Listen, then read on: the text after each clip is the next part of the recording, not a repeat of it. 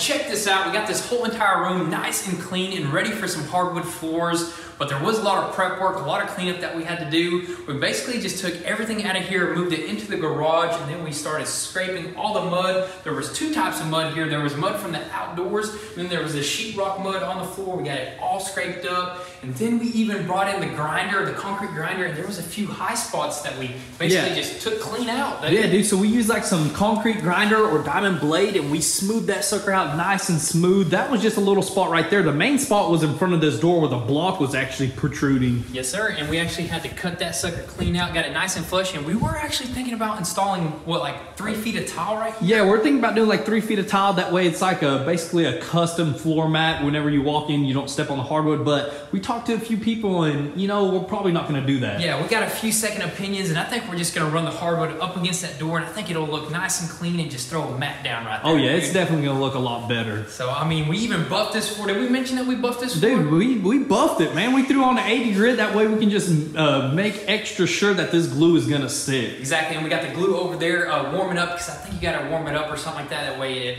it goes down properly. Or Yeah, it like goes that. down nice and smooth, dude. Look at what I just noticed right there. A foot or blueprint, dude.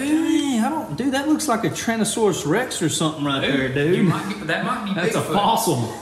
Dude, because that is probably from like 10 years ago. But anyways, the very next thing that we're gonna do is probably throw two rows of hardwood. This is the most important thing. We're gonna run it all the way along this wall, all the way to that wall right there. And this is gonna make sure that we end up with the proper, uh, The well, you want to throw these two lines as straight as possible because the straighter they are, the be- the straighter your whole entire floor is going to end up. Because you don't want to start this thing off sideways and end up like not 45ing the last piece or something like that. Exactly. I couldn't have said it better myself. And on top of that, we are going to throw some laser beams, maybe some chalk line, because I just noticed that this wall is not 100% perfect either. Yeah, it kind of curves out at the end over there, but no big deal. I think we can get something done, Yeah, dude. the sucker's a little bit wavy, but before we actually just get straight to work, we're probably gonna go ahead and show you guys the floor since we got some pretty good Dude, lighting. let's go check it out, man. It looks way different and better from what it did when we first coated it, dude. Dude, look at that. Dude, that looks nice and clean. That almost looks like the finished product, dude. But hey, it may look like the finished product, but believe it or not, we're actually gonna buff it, and throw a couple more coats. It's gonna look smoother, better, slicker, all that, dude. It's gonna look sick. I can't wait to actually go ahead and actually get all that done. That'll be probably after we install all the doors, all the trim, and even start painting. But as right now, I said we just go ahead, keep moving with the downstairs floors, and uh, just get straight to work.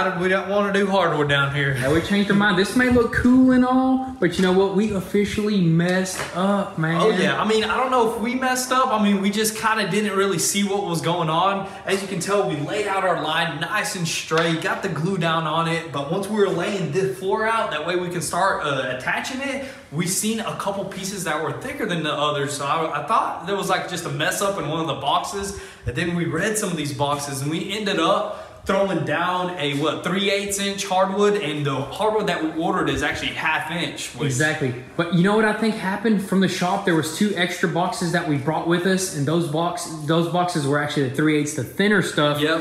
And uh, we should have put down the half inch stuff, the thicker stuff there. Just something easy that we should have just uh, looked through, but you know what? They were all the same boxes. We just thought it was the same hardwood. But no big deal. We're gonna go ahead and just rip this up, clean up the glue. We still got our line there, and just throw another new line on. Yeah, dude. exactly. Because it'll be an absolute nightmare if this stuff hardens. You are not getting that stuff off, dude. Yeah, good thing it's still kind of wet. We're gonna go ahead and peel it off and uh, just restart. Start over, man. Ain't no biggie. Nope.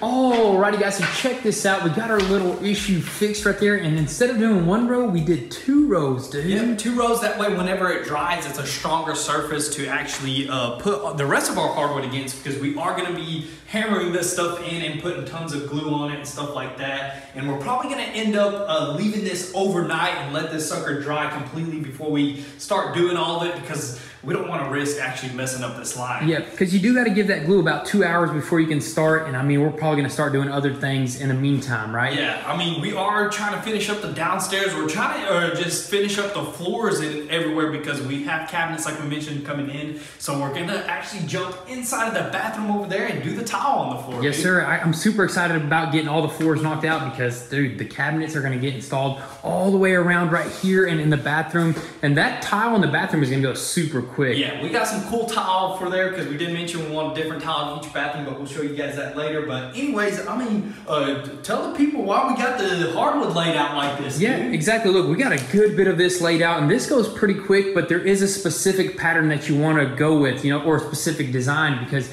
you want this to look as random as possible. You know what Yeah, I mean? you don't want each one of these little lines to actually match up. You want to kind of like just throw it off a little bit here and there. That way it just looks really good once it's like nothing matched up. you don't want like a straight line with the hardwood. Yeah, you don't want these joints. You don't want a joint right there and then a joint right there, or even like a joint pretty close. So you got to have like a pretty large gappage. So you do steps and like dude, we just learned this back in the day. Yeah, and the reason why we have it already laid out instead of like putting glue and then going through the box and grabbing a piece at a time, that's gonna take super long. Um, everybody that does like hardwood, like this is exactly how they do it. They lay everything out, perfect pattern, everything, throw their glue or their nails, put it on, and just go at it, dude. Yep, exactly. Yeah, so that's how we're gonna do it. We're just gonna slap down our glue right there. Well, you can't actually put your nails or anything. You- Yeah, you can't do nails on that. I'm just saying if you're doing nails or glue, you, do it basically the same way. Yeah, exactly. You gotta lay it out, and then tomorrow, dude. I think we'll get this whole entire floor knocked out tomorrow, dude. Yeah, I mean it's not that big of a floor, and uh, I mean since we're gonna let that dry overnight, we shouldn't have an issue with anything moving. You know what I Yes, mean? sir. So we are done with this for tonight.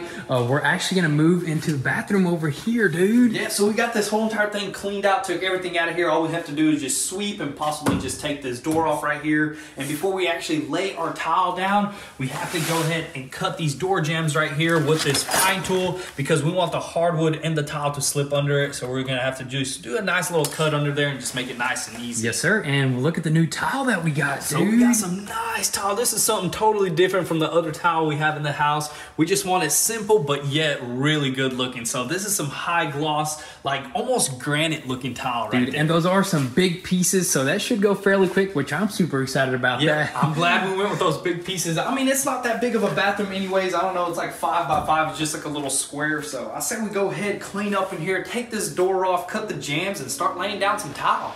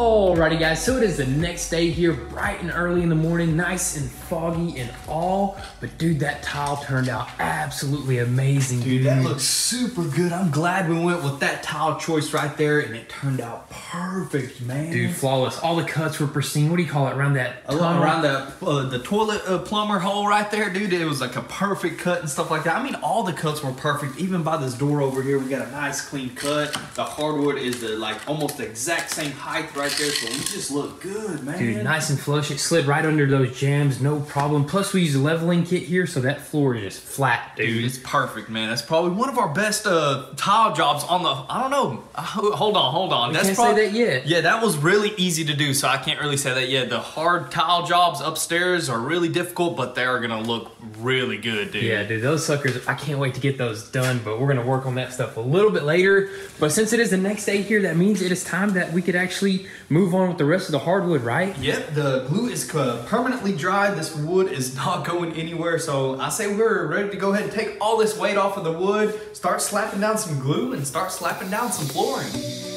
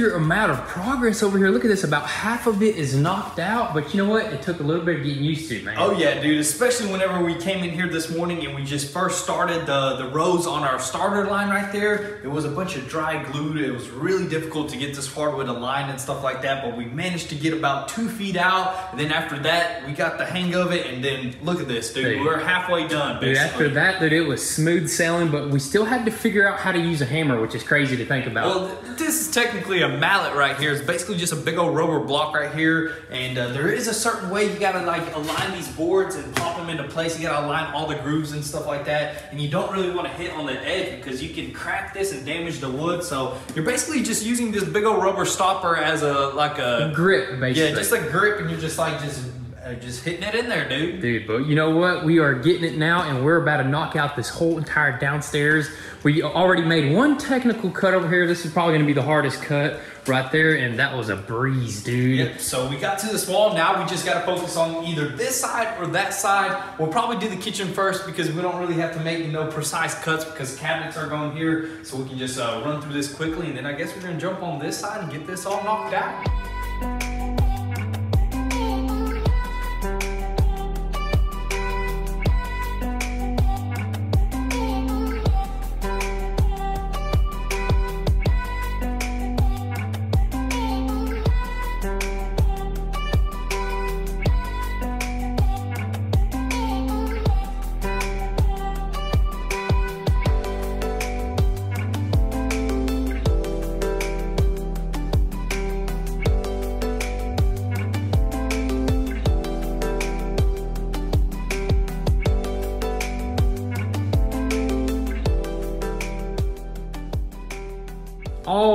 Alrighty guys, so check this out. We made it thus far and we basically just had to stop because we actually ran out of wood, dude. Oh yeah, so I mean, we just probably need like two to three more boxes to finish the rest of this off. But dude, we got so much done today. We got the kitchen complete. All we have left is probably like like six more rows over here and a couple over there in front of the stairs and just a few more right there, and we should be good. Yeah, dude. so yeah, those hallways right there are gonna quickly get knocked out. We have a little bit more wood right here, but it's not worth to go ahead and actually put those pieces down because the glue is gonna dry. And we like to just put glue all the way there and then just slap them on there. It's Yeah. easier like that. Yeah, definitely a lot easier. So we'll definitely wait until we get some more boxes in. Um, we ordered enough wood, uh, thinking that uh, they had some of those leftover boxes, and that happened to be, you know, the different size wood. So we kind of miscalculated and uh, kind of, you know, messed up because we thought that was the same wood. But we'll have more coming in here real soon.